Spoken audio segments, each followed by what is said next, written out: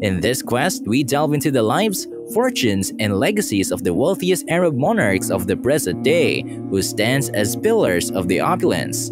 Let's get moving.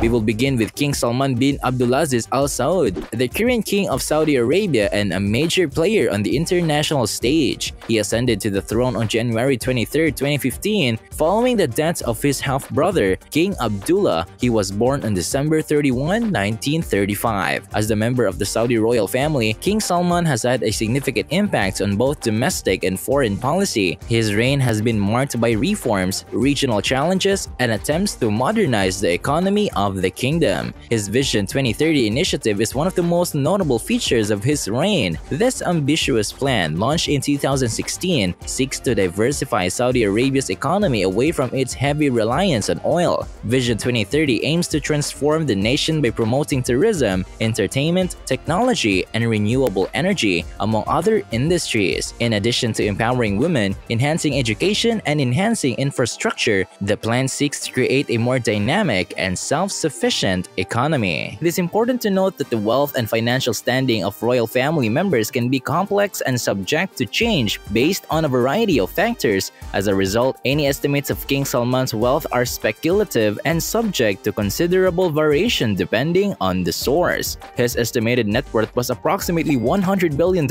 making him one of the world's wealthiest individuals. The various sources of his fortune included oil, investments, and business interests. It comprises the Saudi Arabian government-owned oil company, it is the largest oil company in the globe in terms of production volume. It is believed that King Salman has a substantial stake in Aramco, SAMI, also known as Saudi Arabian Military Industries, is a state-owned defense corporation. It designs, develops, and manufactures military equipment for the Saudi Arabian Armed Forces. He is also the founder of the non-profit King Salman Center for Disability Research, whose mission is to improve the lives of individuals with disabilities. He also owns opulent palaces such as the Al Yamama Palace in Riyadh, which serves as his official residence. It is said to be one of the most expensive palaces in the world. The palace is a large complex with more than 1,000 apartments. In addition, there are the Urga Palace, Jeddah Palace, Riyadh Palace, and the new museum Turif Palace.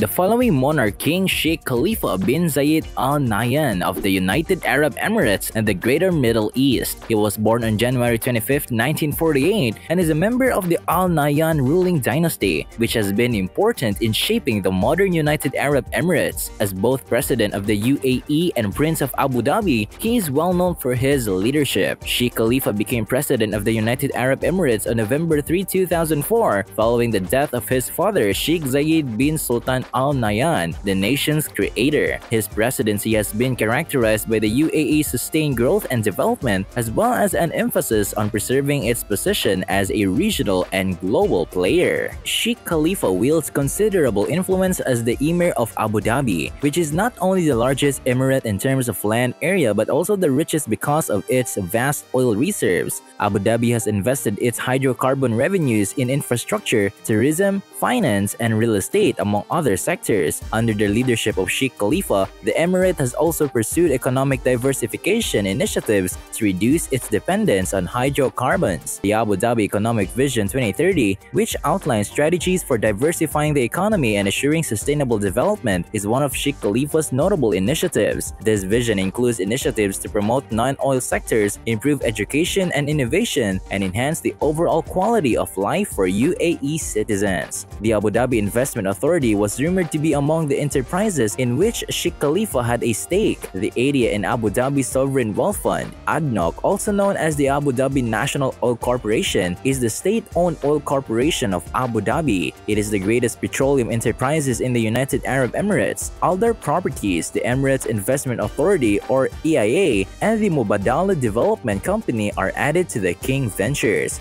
According to Forbes, He is reported $830 billion in assets. The Qasr Al Watan Palace, the official presidential palace of the United Arab Emirates, is among King Sheikh's luxurious possessions. It is situated in Abu Dhabi and is one of the world's most expensive residences. It has more than a thousand chambers and is adorned with gold and marble. It is estimated that the yacht Azzam, the largest yacht in the world, is valued over $600 million.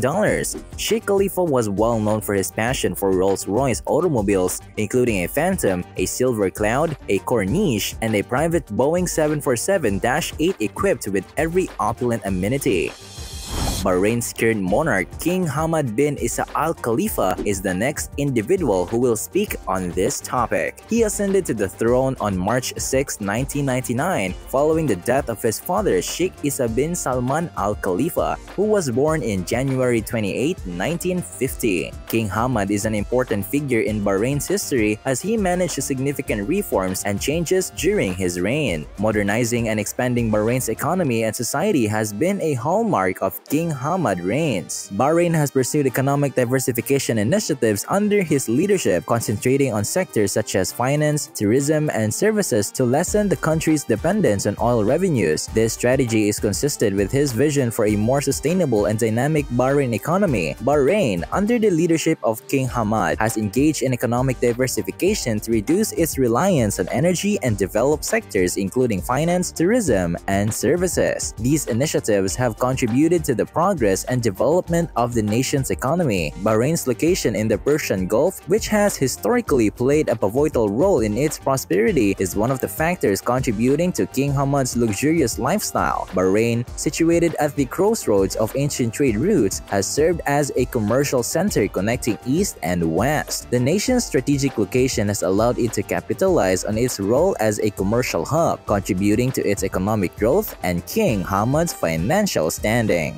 The reign of King Hamad has been distinguished by an unwavering commitment to economic diversification, recognizing the limitations of relying on fuel revenues alone. He has led efforts to diversify Bahrain's economy beyond its traditional sectors. It made Bahrain a regional financial center and strengthened its economic resilience. Bahrain also possesses an extensive cultural heritage dating back centuries. The country's modern identity has been shaped by its historical ties to pearl diving, commerce, and craftsmanship. The preservation and promotion of this heritage through initiatives such as cultural events and heritage sites enhance Bahrain's appeal as a tourist and investment destination. The Riffa Palace, the official residence of the King of Bahrain, is one of his possessions. It is a large complex with over 1,000 gold and marble decorated accommodations and a variety of amenities. He is the owner of the Durrat Al Bahrain, a luxury resort. This resort includes hotels, villas, and apartments, as well as restaurants, clubs, and stores. In addition, he possesses a Boeing 747-8, Rolls-Royce Phantom,